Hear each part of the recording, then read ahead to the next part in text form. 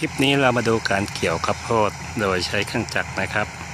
พื้นที่ 25 ไร่นะครับ ใช้รถเกี่ยวข้าวโพดนะครับ ใช้เวลาไม่เกิน 10 ชั่วโมงนะครับ ตัวนี้ก็ค่าบริการก็คือค่าเกี่ยวและค่าขนส่งเม็ดไปที่ลานนี่ก็ตันละ 600 หรือประมาณ 60 สตางค์นะครับ ตัวนี้ก็ช่วยแก้ปัญหา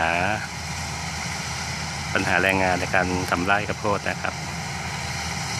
เดี๋ยวนี้การทำไร่ข้าวโพดนี่ก็มีครบทุกอย่างนะครับ จ้างหยอด จ้างกำจัดวัชพืช แล้วก็จ้างเก็บเกี่ยวนะครับ เครื่องเกี่ยวนี้มีข้อจำกัดคือไม่สามารถใช้งานในที่ลาดชันได้นะครับ แล้วก็พื้นที่ที่เกี่ยวนะต้องไม่มีหินตอไม้ หรือเครือมันเครือ วัชพืชมันจะไปพันก็ทำให้เสียเวลา เพราะฉะนั้นเครื่องสีข้าวโพดเนี่ยก็ใช้ได้ในพื้นที่ราบเท่านั้นครับ คนที่ไปปลูกบนภูเขาบนดอยก็ต้องใช้แรงงานกันต่อไป ซึ่งน้ำมันก็จะหายาก ซึ่งจุดนี้ที่พระราชนิคมก็มีอยู่หลายเจ้าของที่มีเครื่องจักรประเภทนี้ก็คือทีมงานก็จะมีเครื่อง เก็บเกี่ยวข้าวโพด มีรถขนส่ง แล้วก็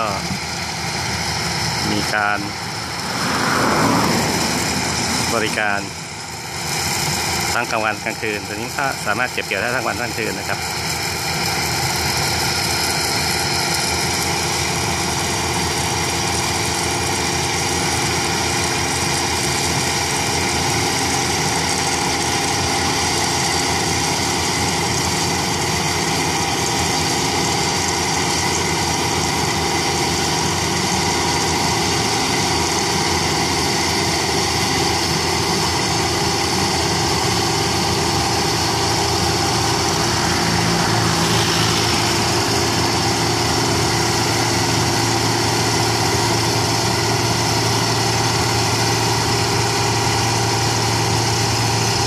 ห้อ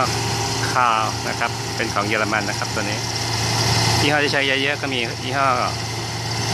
จอร์เดียคาวแล้วก็มีของไทยนะครับ ก็คือเอาเครื่องเกี่ยวข้าวมาประยุกต์นะครับ บนรถก็จะมีไซโลเก็บเมล็ดนะครับ เมื่อมันเต็มแล้วก็จะมาพ่นใส่ที่รถบรรทุกตรงนี้นะฮะก็ การทำไร่ข้าวโพดก็ง่ายนะครับ แต่ว่าก็ราคาต้องได้นะครับ เพราะว่าต้นทุนการผลิตมันก็มีต้นทุนที่คงที่อยู่แล้วนะครับ ถ้าราคาร่วงก็ขาดทุนนะครับ นี่คือการเก็บเกี่ยวข้าวโพดในอำเภอพระธาตุนิคมจังหวัดลบบุรี